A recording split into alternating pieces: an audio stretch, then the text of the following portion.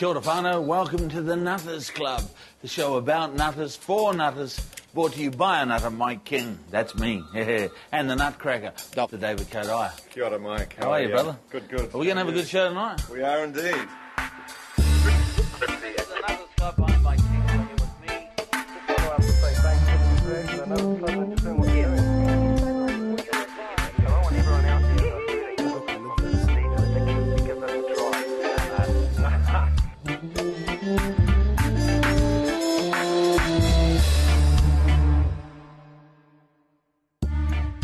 On the Nutters Club this week is a very special guest, Mr. Thomas Pahi. Abandoned at birth and exposed to things no child should go through, you'd think he'd be a bitter man. But he'll be telling us tonight about the positive steps he's taken to overcome his addictions and get his life back on track. Thomas, Good brother. Yourself? welcome and glad you're here. This is David Codyre. Kia ora, Thomas. Welcome. Good to see you. Grab a seat, brother. Kia ora, good evening. Welcome into the Nutters Club here at Radio Live and Māori Television.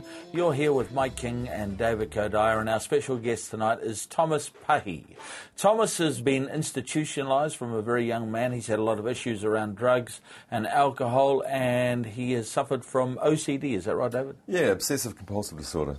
He is an outstanding member of the Nutters Club NZ on Facebook. Thomas, welcome into the show. Thank you, Mike. It's good to have you here, brother. Good to be here. So, um, so uh, tell us what the White Coats have uh, said that you have. Alcoholism, um, schizophrenia, um, obsessive compulsive disorder, you know, and probably many other ones. I, I think the only thing I have been uh, diagnosed with is uh, ADHD. But you know, I think deep down, I think I've got that. You know, but Yeah. still in a, a lot of denial around it. Something. And um, so, when did the issue start for you? I know over the, over the years that I've um, getting myself well, I've come to learn that uh, it started at such an early age, you know. You know, especially around this obsessive compulsive disorder or even addiction sort of thing, you know. I was stealing sugar at an early age, you know. I was punching Milo out of the cupboard sort of thing, you know. I'll beat other kids up for their lollies, you know. We'll probably all get five lollies each, you know. I wanted, you know, four of their lollies, Yep. you know. So, My- where did you grow up? I grew up uh, basically central North Island area sort of thing. Uh, I went through a lot of foster families, multiple foster families. And, uh, you know, I probably, I think, went through about 25 of them by the age of five. And what I can remember, a lot of them were very extremely dysfunctional sort of thing. As a child, you know, I didn't know where I belonged. You know, I had a greater, in a sense of uh, emptiness, uh, sense of not belonging, unloved, unwanted sort of thing. And, you know, as a kid, I wanted to fill that, that emptiness up, and I found in, you know, probably found, like I said, found it in sugar. I found it by being rebellious and, uh, you know, a lot of attention seeking sort of thing, and it kind of came out in my behaviours and how I reacted sort of thing. So, uh, what age did you first get, um, get thrown into the foster homes? Day one, Wow. And uh, you, you never knew your mother or father? no, no knowledge of them whatsoever. Um, and what time frame was the 25 families that was from age From one? the day I was born to age five. Right. I kind of like to do a bit of a math on it. That's a different set of parents or different family or different location or different bed every, four months yeah, for yeah, the first yeah, five years of my yeah. life. So there, it was all regular Yeah. changes. There was nowhere that you managed to actually stay some structure, length of yeah, time, yeah, yeah.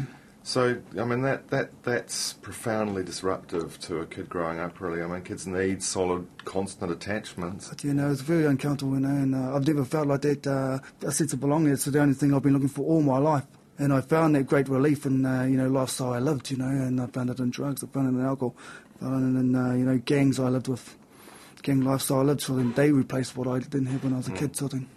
So sugar and um, you know was was a big thing through your childhood. Where, when Yeah. did alcohol and other drugs? I started drinking at age of six, you know, How did you get hold of alcohol at six? like any kid at that age, I stole it. Really? Yeah. Okay. I, uh, yeah, basically, I basically stole it. Yeah. Found it didn't belong to me, but I drank it anyway. Yeah. But you know, those 25 families are foster families. And then I got adopted, and there's a big difference. Foster family is only temporary, where adoption is pretty much permanent. They own you.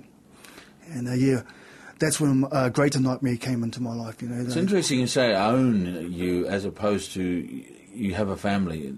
Was there that sense that you're a slave? Pretty much, uh, yeah, yeah, to this particular family, yeah. I, was, I belonged to them. I did exactly what they wanted me to do. Maori? No. Europeans, Caucasians. And uh, so, I've never lived with any Maoris. really? Never. So even in the first five years, all those 25 families were Or, Pākehā or, at or Europeans. Caucasian, yeah. What sort of effect did that have on you as as a Māori person? I don't know who I am in relation to a Māori sort of thing, you know. I, I struggle with even uh, accepting or even acknowledging I'm Māori. Although it's physically clear, my name states that I'm Māori. My physical appearance may indicate that I am Māori, but uh, internally, my internal stuff's... I, I don't know. I don't even know what it's like to be a Maori. I can't speak Māori. I feel uncomfortable being around Maoris.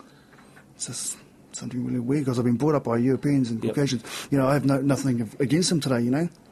But, uh, you know, I just, because I lived up in that, in that lifestyle sort of thing, I just feel like more them than anything else. Do you feel abandoned by by Māori? Oh, yes, yes, yes, yeah, yes, I do. And wow, that's oh, that's that's tough. hard, Well, it must be tough. It I mean, is, You know, is, the, yeah. you know, especially because of the way you look, and you know, and Mm. well, not so much your name, just for the way you look. I mean. Uh, Māori must come up to you and want to hongi you, and Oh, yeah, they- and, they- they and, do. and that must give you a sense of awe. It's uncomfortable. Yep. It's very uncomfortable for me. So t- t- tell us about the first, the first time you received help and you actually thought it was helpful. Um, you know, I think I've had up many opportunities of uh, getting help. You know, I remember as a child, something I think early teens, like probably 11 or so, went to a psychologist, and see a psychologist, and he reckoned I had a, an anger problem. Sort of thing, and he told me to, uh, you know, he told me Obviously, to, bright guy, sorry. But he told me to express my anger by um, punching his chair, you know, and I Right. just punched his chair once, and I think it's harder. So I punched it again and again. He goes, How do you feel? And I said, I feel like a bloody idiot. But doesn't it make you feel good? No, what will make me feel good is me wrapping this chair around your head. you know, and uh, I think that was the first very, very, very experience I've seen. I like and see some, some psychologists or psychotherapy anyway. But, you know, I didn't need that anymore, sort of thing. And, Yeah. Uh, but it wasn't until my later years, until probably in those last three, four years that I've been up here in Auckland, sort of thing, that I've had, that, you know.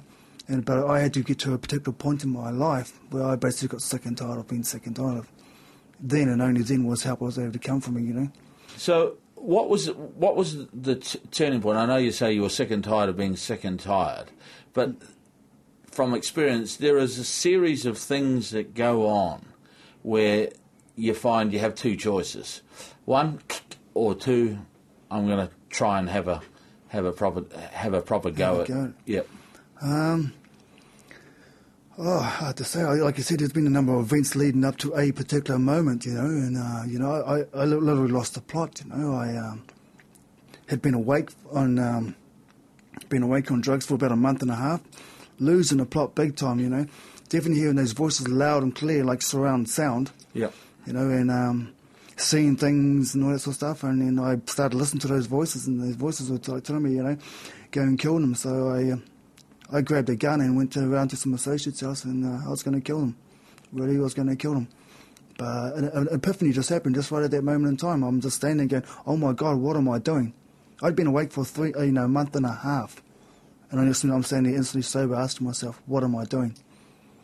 The next day, I pretty much held my doctor up at gunpoint saying, hey, I need you to get me to treatment as soon as you can. I'm losing the plot.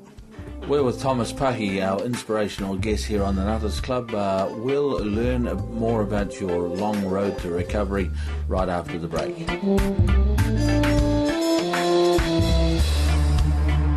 Uh, welcome back to the Nutters Club, where our special guest is Thomas Pahi, and joining me, as always, is David Codyre. Before the break, we were talking about um, how you got to the point of being an alcoholic, a drug addict, how you got to use all of these things. Um, how did you turn all of that around, and, and how did you go through the process of getting well? Once I came to that point or realization that uh, I have or could have have a problem and I wanted to help, Well, you've got a gun, you're going to shoot your friends, you're holding a doctor hostage with a gun saying, Give me help. It's pretty clear you've got a problem there, Thomas. try telling me that at the moment at time sort of thing. Yeah, but you know, I knew I had a problem sort of thing and I needed help and I just literally thought, you know, rehab because I've watched enough television Yep. and seen people go on to Good into enough songs. Yeah, no songs, people going into rehab sort of thing, getting treatment sort of thing. I thought, okay, that's the only solution I've got at this stage. That's all I